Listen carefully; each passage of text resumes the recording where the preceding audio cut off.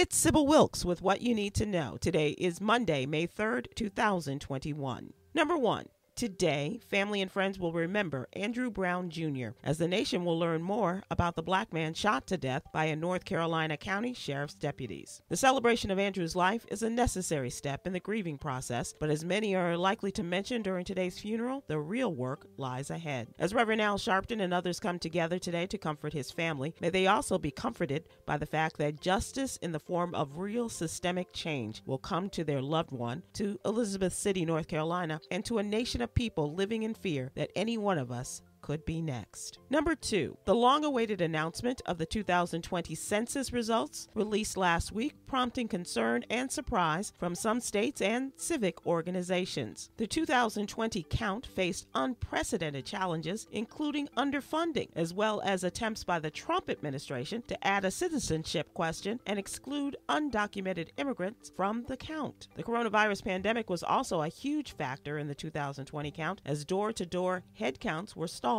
due to shutdowns. Number three, the Biden administration is urging Americans in India to leave that country as it plans to restrict travel between the U.S. and India beginning tomorrow, Tuesday, May 4th. The restriction comes as India sets another daily global record of new infections Saturday with more than 400,000 new cases. The U.S. and other countries are sending aid supplies to India, including rapid tests, N95 masks, oxygen, and vaccines. Number four, while eating lunch at an IHOP in Lorton, Virginia, four black Army soldiers from Fort Belvoir were approached by a white woman who thanked them for their military service and offered to pay for their lunch. For reasons unknown, the woman came back to their booth a few minutes later and began harassing the troops, accusing them of stealing her money while using the N word. The exchange was posted on TikTok video and has gone viral, prompting an internal investigation by the Army to gather information on the woman and her motives. Number five,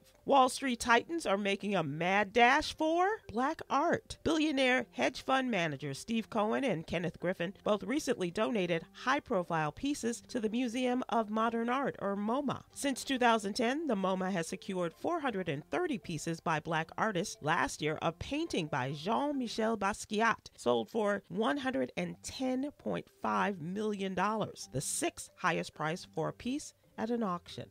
Here's your daily inspiration from Yogi's Jewels. Being happy is part of a healthy mind. All right. Join me today live on YouTube and Facebook at 7 p.m. Eastern, 6 p.m. Central with our social activists, Coy Malone, and comedians Huggy Lowdown and Chris Paul as we discuss today's top headlines and more. Thank you to our What You Need to Know partners, Alpha Kappa Alpha Sorority Incorporated and Black Voters Matter. To subscribe to my free daily newsletter, please visit SybilWilkes.com. Be informed, be empowered.